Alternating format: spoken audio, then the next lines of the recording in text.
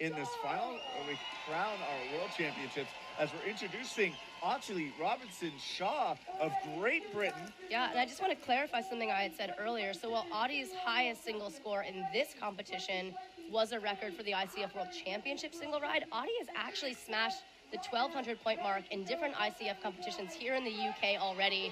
And so this paddler is one to watch. These rides I, I'm just really excited to see setting things up with the entry McNasty, maybe even getting the huge bonus on that as she airs it out.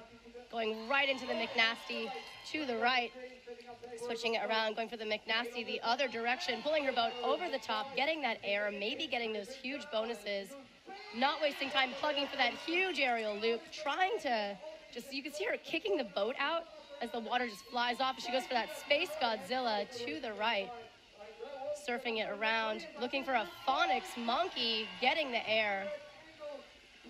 Next up, going for the lunar orbit, just missing the setup. There she goes, going once again lunar, right into the lunar loop with that trophy move. She is throwing down. She's not taking prisoners. Lunar orbit the other direction. What a ride for Audie Robinson Shaw.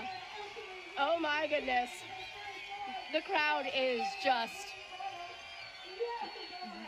they are. You could probably hear them in Scotland. there, she just went off there.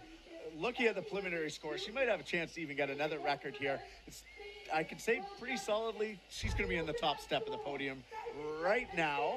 With that, or moving sorry, the top of our leaderboard. There's still lots of other rides to go. Great replay here, 1216.67, Anna. Wow. Wow. You know.